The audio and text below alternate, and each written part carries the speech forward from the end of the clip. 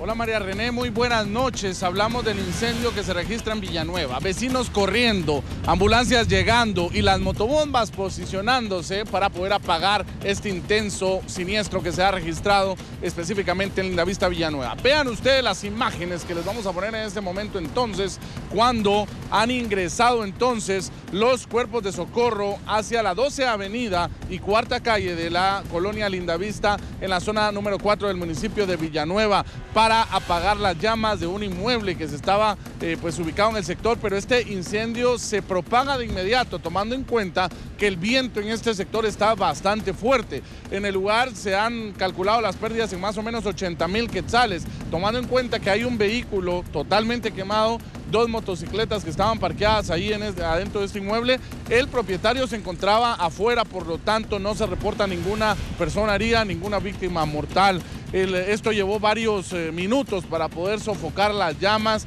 de los cuerpos de socorro han ingresado con varias unidades de abastecimiento, pero a esta hora de la noche, ahora vea usted las imágenes que les hemos captado para que usted se entere entonces cómo se encuentra ya el movimiento. Hablamos de un 100% ya controlado este incendio en la 12 Avenida y Cuarta Calle de la colonia Lindavista de la zona 4 de Villanueva. En este momento pues observan ustedes cómo ya se han eh, pues apagado las llamas, los cuerpos de socorro ya comienzan el área, el área y el momento de descombramiento para poder evitar que se registren focos de fuego nuevamente. Es así entonces como se ha pues vivido momentos de bastante tensión, amenazaba con trasladarse a otra vivienda este incendio, afortunadamente se logró llegar a tiempo para poder evitar que esto ocurriera. Y para finalizar este enlace informativo, pues también quiero mencionar algo importante, porque se ha salvado una vida y hablamos de una vida de un perrito que fue trasladado por, una, por un médico particular hacia un centro asistencial.